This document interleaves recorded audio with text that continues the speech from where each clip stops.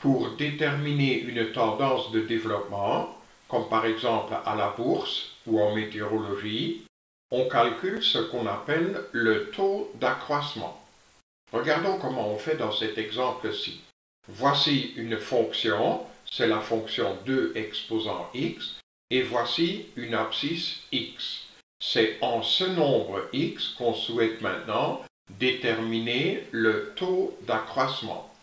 Pour cela, on construit d'abord la tangente au point du graphique dont l'abscisse c'est ce nombre x. Donc d'abord, on construit cette tangente-là. Ensuite, à partir du point P, on va de une unité vers la droite et ensuite on retourne vers la tangente verticalement. Si la tangente est croissante, alors à partir de ce point, il faut retourner verticalement vers le haut et le taux d'accroissement sera positif. Sinon, si la tangente est décroissante, il faudra retourner verticalement vers la tangente, vers le bas. Et alors, le taux d'accroissement sera négatif. Faisons cela. Donc, à partir du point P, on va de une unité vers la droite, comme ceci, et ensuite on retourne verticalement vers la tangente. Et c'est justement la longueur de ce segment vertical qui est égale au taux d'accroissement R de x. Donc d'abord, nous allons considérer ce triangle de croissance à partir de P, une unité vers la droite, toujours vers la droite, et puis on retourne verticalement vers la tangente. Le coefficient angulaire de la tangente, c'est ce nombre vertical divisé par ce nombre horizontal. Et comme le nombre horizontal est égal à 1, le coefficient angulaire de la tangente, c'est ce nombre vertical r de x, et c'est ça le taux d'accroissement. À partir de cette définition, nous voyons évidemment que le taux d'accroissement au nombre x n'est rien d'autre que la dérivée de la fonction f exprimée en x. Dérivée qu'on peut aussi écrire comme ceci. Ça, c'est une écriture de la dérivée de la fonction f par rapport à la variable x. Et puis, on exprime cette dérivée-là au nombre x considéré.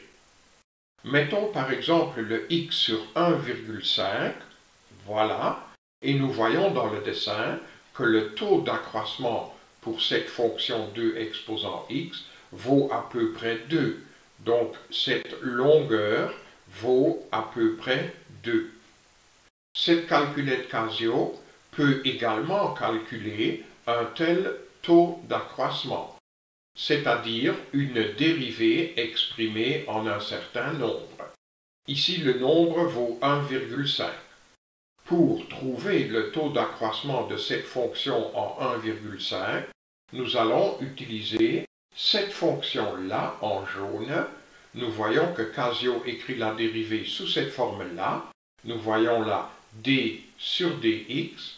Nous allons activer cette fonction-là. Vu qu'elle est écrite en jaune, il faut d'abord cliquer sur Shift pour jaune. Je clique sur Shift, clic, et maintenant je clique sur cette touche-là, la touche intégrale, clic, et voilà, dans le display apparaît de suite la dérivée d'une fonction par rapport à la variable x. La fonction considérée ici, c'est 2 exposant x, donc nous écrivons 2, clic, exposant, clic, x, clic. Maintenant, avec les touches curseurs, on se balade jusqu'à ce petit champ-là, une fois deux fois vers la droite. Et maintenant ici, nous mettons la valeur considérée pour x, c'est-à-dire ici 1,5. 1,5. Dans le dessin, nous voyons que la dérivée vaut à peu près 2.